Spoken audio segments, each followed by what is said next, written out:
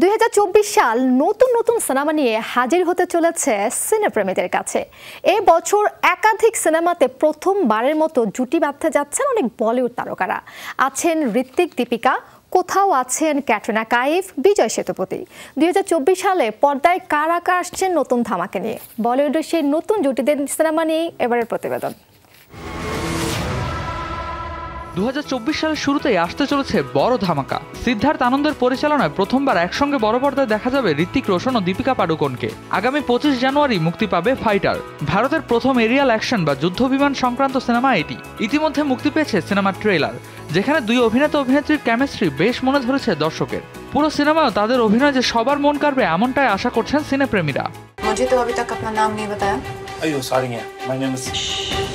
শ্রীরাম রাঘবনের মতো পরিচালকের সিনেমা মানেই দর্শকের প্রত্যাশা থাকবে তুঙ্গে। এবারও তার ব্যতিক্রম হয়নি। তার উপর সিনেমাতে প্রথমবার জুটি বেঁধেছেন ক্যাটরিনা কাইফ ও বিজয় সেতুপতি। পরিচালকের প্রত্যেকটি সিনেমাতেই বিষয়বস্তু ভিন্ন স্বাদের হয়। মেরি ক্রিসমাসেও শ্রীরাম রাঘবন যে নতুন কিছু ছোঁয়া দেবেন তা বলাই যায়। তবে সবকিছুর মধ্যেও এই নতুন জুটি নিয়ে বেশ আলোচনা হচ্ছে সিনে জগতে I've actually just completed one film uh, Shahid. প্রযোজক দীনেশ বিজানের নতুন সিনেমায় দেখা যাবে শহীদ কাপুর ও কৃতি শ্যানন জুটিকে। ইতিমধ্যেই প্রকাশ্যে এসেছে সিনেমাটির ফার্স্ট লুক তবে সিনেমার নাম এখনও ঠিক করা হয়নি। আপাতত জোরে সোরে চলছে সিনেমাটির প্রি প্রোডাকশনের কাজ। সব ঠিক থাকলে আগামী বছরের শুরুতেই শুটিং করার কথা সিনেমাটির। জানা যায় দু হাজার চব্বিশ সালেই বড় পর্দায় মুক্তি পাবে শহীদ কৃতি জুটির প্রথম সিনেমা। এদিকে সিনেমা ঘোষণার পর থেকে একের পর এক বাধা।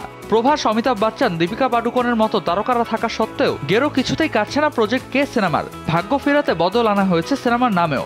নাগ আসিন পরিচালিত সিনেমাটির নতুন নাম কলকি twenty eight ninety eight AD জানা যায় দু হাজার চব্বিশ সালে মুক্তি পাবে প্রভাস, দীপিকার এই সিনেমা।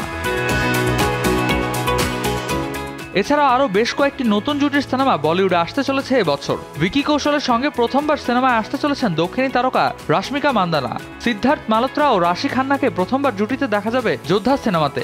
আবার হিরো নাম্বার ওয়ান সিনেমাতে টাইগার শ্রফের বিপরীতে বড় পর্দায় ডেবিউ করবেন ঋত্বিক রোশনের বোন পাশমিকা রোশন।